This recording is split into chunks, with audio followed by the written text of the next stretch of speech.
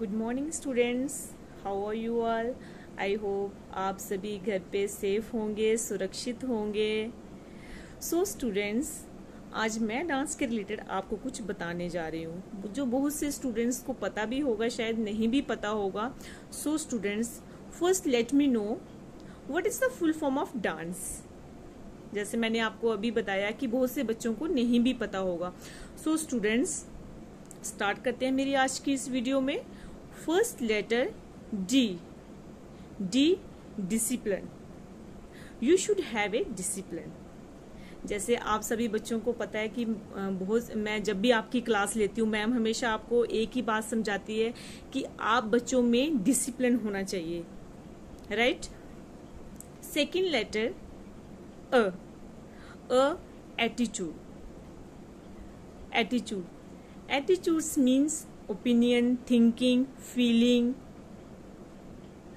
आप जब भी कोई भी काम करते हो, ज़रूरी नहीं डांस कोई भी काम करते हो, आपको उसको मनोवृत्ति से करना चाहिए, मन से करना चाहिए okay next letter N N new new means आपको कुछ नया करना है।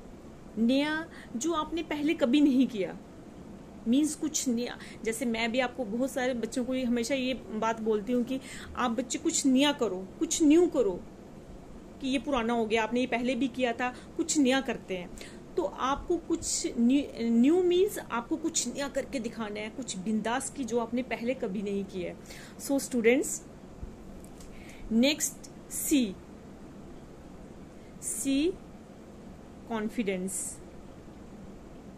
आप डांस तो करते हो बट आप में वो कॉन्फिडेंस दिखता नहीं है।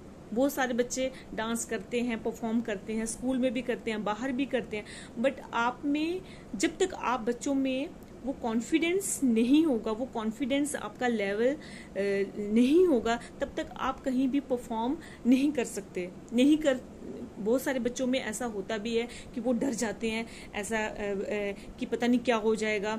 तो वो अपना कॉन्फिडेंस लेवल जो है वो अपना उसको एकदम से लो कर देते हैं कर नहीं पाते। सो so, स्टूडेंट्स आपको ऐसा नहीं करना है। जब भी आप कहीं भी परफॉर्म करते हैं कहीं आप स्कूल्स में करते हैं कहीं आप बाहर कोई बड़े प्लेटफॉर्म पे करते हैं तो आपको घबराना नहीं है। सो so, आपने बस अपने माइंड में एक ही बात रखनी है no I can do it so students next letter है हमारा ई ई एक्सप्रेशन जो कि बहुत मस्त है। डांस के लिए अगर एक्सप्रेशन फेस स्माइल जब आप बच्चों में नहीं होती है तो वो एकदम से बोरिंग लगता है अच्छा नहीं लगता है। जब भी आप भी कुछ भी करते हो, आप एक छोटा सा स्टेपिंग जब तक आपकी स्माइल आपकी लिपसिंग नहीं होगी तो वो मज़ा नहीं आएगा। सभी बोलेंगे, ये कितना, ये अच्छा नहीं था, बोरिंग। आप कहीं भी देखो अभी जैसे अभी हमारा अभी एक डांस का कंपटीशन हुआ, बहुत सारे बच्चों ने परफॉर्म भी किया, बहुत अच्छा परफॉर्म किया, बच्चों ने बहुत अच्छी अच्छी वीडियोस बना के भेजी। सो उसमें जजेस ने क्या नोट किया कि आपके उसमें फ़र्स्ट तो एक्सप्रेशन भी थे जो कि आपको मैम ने अभी हमारा जो लेटर ई एक्सप्रेशन आपको मैम बता रहे हैं। तो जब तक आपके एक्सप्रेशन नहीं होंगे तो वो वो वो आपका जो डांस है, वो मज़ा नहीं आएगा देखने का। किसी को भी अच्छा नहीं लगेगा तो आपके मार्क्स कट सकते हैं।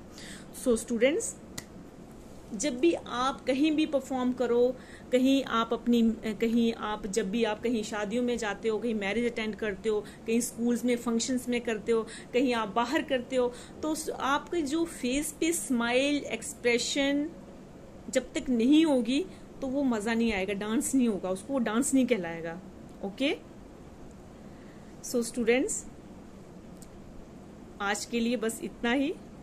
मेरी नेक्स्ट वीडियो में मैं आपको बताऊँगी कि डांस होता क्या what is dance types of dance बहुत सारे बच्चों को पता नहीं है डांस तो कर सभी कर लेते हैं। ऐसे तो सभी बच्चे डांस करते हैं, शादियों में करते हैं कहीं भी जाओ तो कर लेते हैं। बट आपको ये चीज़ का पता होना ज़रूरी है। सो सभी बच्चों को जितना भी मैंने आपको बताया आज आप आप सभी बच्चों को अपने माइंड में रखना है कि मैम ने क्या समझाया हमें। ओके तो नेक्स्ट वीडियो में मैं आपको इससे आगे बताएँगे। फिर नेक्स्ट वीडियो में मैं हम आपको स्टेप्स धीरे धीरे बेसिक्स बताएँगे। जब तक आप बच्चों को बेसिक नहीं पता चलेगा तो आप डांस कैसे कर पाओगे? ओके और गुड बाय घर पे रहिए सेफ़ रहिए, सुरक्षित रखिए थैंक यू